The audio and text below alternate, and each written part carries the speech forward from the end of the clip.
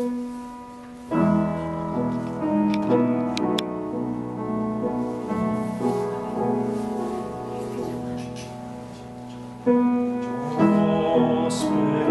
meum, from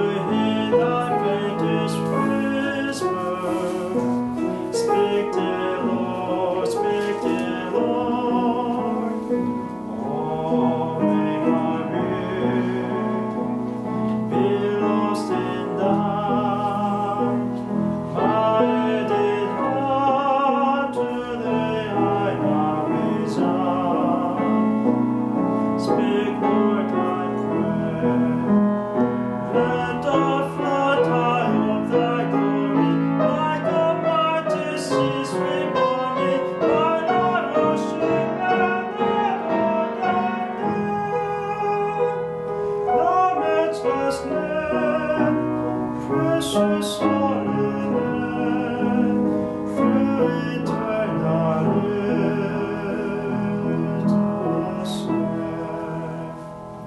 Oh, speak prayer from Calvary, where thou, O Christ, to share thy